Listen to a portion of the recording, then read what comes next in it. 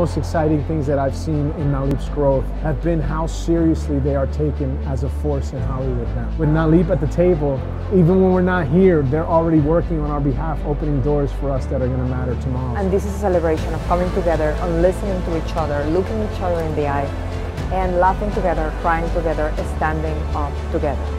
NBC Universal has a fantastic relationship with Nalip, supporting their Latino Media Fest. We want to have diverse stories being told by diverse people, but we also want to make sure that we have that second layer of representation and that those stories are, are being told authentically. We need more people who look like me, who look like you, who look like you, who look like, you know, the people who attend Nalip. As uh, everyone of different cultures and backgrounds to be executives, to be producers, directors, cinematographers. We need more people, more cultures coming together. I feel like what Nalip does is they are the ones that are saying, hey, these people are doing it. We're going to try to help you. We're going to try to give you tools. We're going to try to put you on the map. Nalip was the organization that welcomed me with open arms.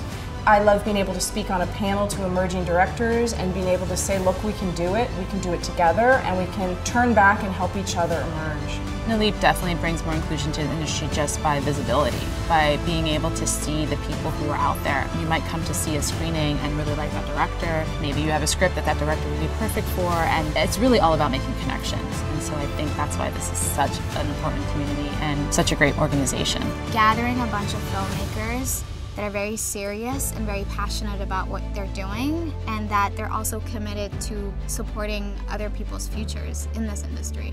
It's imperative to have events like this. I applaud Nalip. We need each other.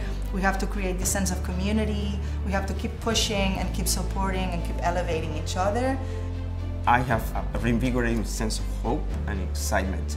We want everybody to be able to have a moment to declare who they are, to voice in front of everybody what is in their heads and their hearts, and our presence there